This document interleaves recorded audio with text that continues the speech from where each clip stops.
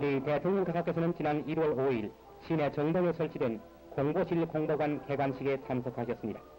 이날 대통령 각하께서는 우선 영화실에서 우리의 공업이라는 산업 재건을 그린 기록 영화를 보신 다음에 공보실 주최로 마련된 국가부흥 사진 전시장에 임석하시어서 친히 테이프를 끊으시고 기간 산업과 중소공업을 비롯한 각 분야에 걸친 국가의 부흥상을 소개하는 사진과 도표 등을 면밀하게 시찰하셨습니다.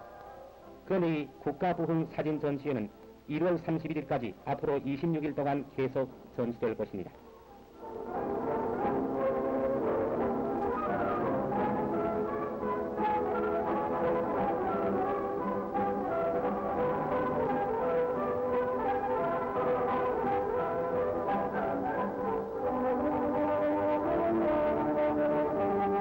공보관 개관식에 참석하셨던 대통령 각하께서는 부근에 있는 서울방송국을 실찰하셨습니다.